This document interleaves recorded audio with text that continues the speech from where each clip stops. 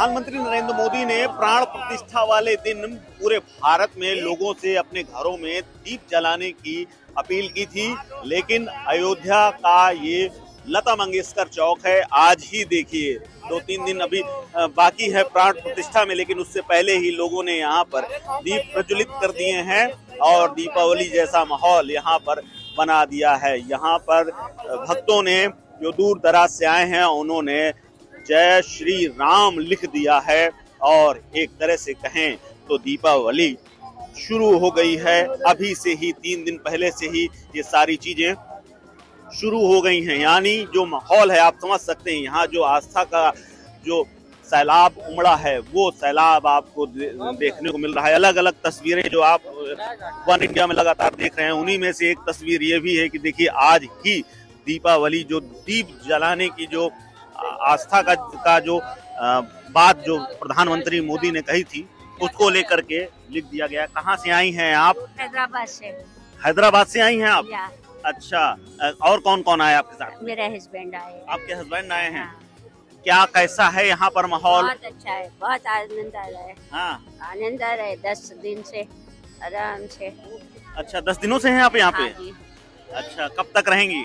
चौबीस तारीख तक। चौबीस तारीख तक? हाँ अच्छा लेकिन प्रधानमंत्री मोदी जी ने तो कहा था कि घर में दीप जलाइएगा आप तो आप लोग तो यहाँ बच्चे जलाएँगे। आप लोगों ने यहाँ जला दिए? हम लोग यहाँ जलाए बच्चे घर में जलाएँगे। हाँ? हाँ। अच्छा पूरा आपने देखा ही पूरा जो कार्यक्रम चल रहा है हाँ, कैसा अच्छा, कैसा लग रहा है बहुत अच्छा बहुत अच्छा। तो देखिए ये हाँ? ऐसे ही तरक्की करेंगे। ऐसे ही तरक्की होगी? तो आप देख रहे हैं कि किस तरह से किस तरह से माहौल है पूरा जय श्री राम लिखने के बाद। पूरी तरह से यहाँ पर राममय पूरी अयोध्या हो चुकी है।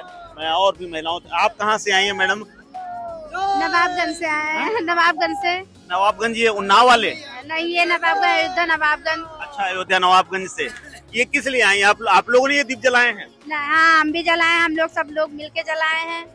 अच्छा हाँ। और कौन कौन आया घर से? हम आए हमारे हस्बैंड है हमारे बच्चे हैं। अच्छा यहाँ पे बच्ची है? हाँ मेरी बच्ची है। किस लिए आई है बच्ची आप? यहाँ पे घूमने आए हम लोग। देखिए माँ बाप के साथ बच्चे भी आए हुए हैं। अच्छा क्या नाम है आपका बेटा? ओमनी का सौधन। ओमनी का सौधन।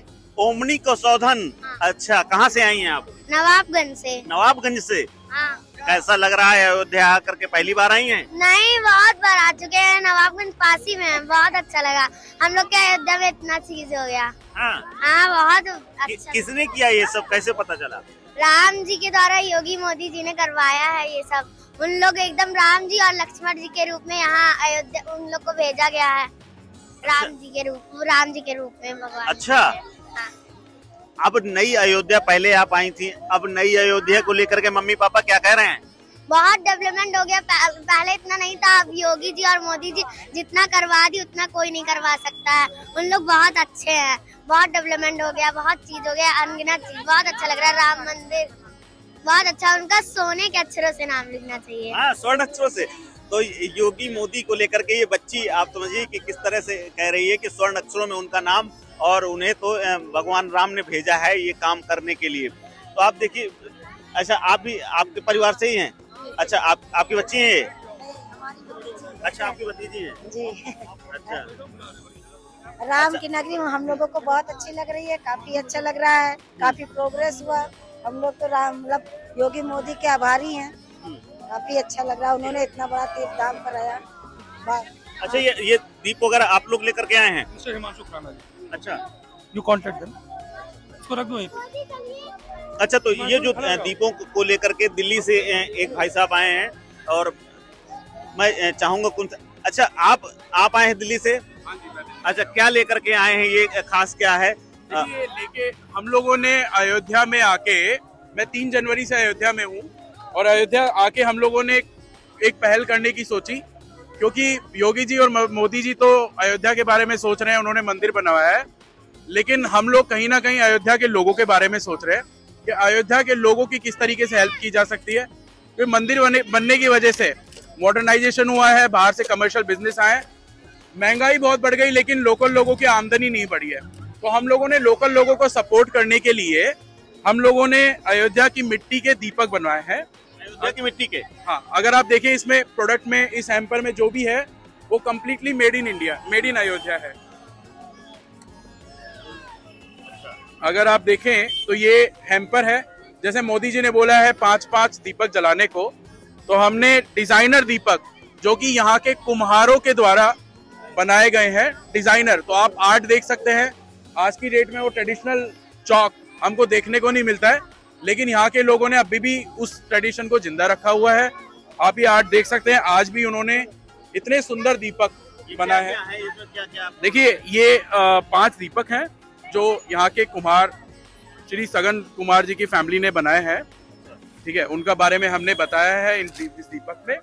इसके अलावा सरसों का तेल है जो यहाँ के गृह उद्योग से हमने सरसों दे के और वापस उन्होंने लोकल मील से बनवाया है। क्या ये गिफ्ट भी कर सकते हैं? क्या ये देखिए गिफ्ट कर सकते हैं। हमने ये सिर्फ़ एक पहल की है ताकि जो लोग सिर्फ़ मंदिर में कमर्शियल बड़े बड़े होटलों को देख रहे हैं वो कहीं ना कहीं जो लोकल लोग हैं जो बिल्कुल जिनके मंदिर की वजह से दुकानें गई हैं घर गए हैं उनकी तरफ़ भी देखें उनको भी रोज़गार मिले उनको भी काम मिले और वो भी लोग आगे आ सके। क्योंकि अगर अयोध्या में कुछ ना कुछ हो रहा है अयोध्या इतनी बड़ी हो रही है तो अयोध्या के लोग भी उसके साथ बड़े होने चाहिए।